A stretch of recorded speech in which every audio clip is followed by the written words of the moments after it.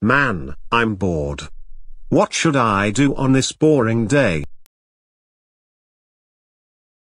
I know what to do. I'm going to destroy this TV, but I'm gonna need something to break it first.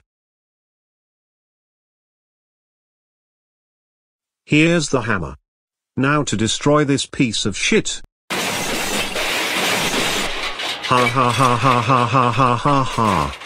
That TV was so stupid. Clyde. What was that noise? Clyde. What the fuck is wrong with you?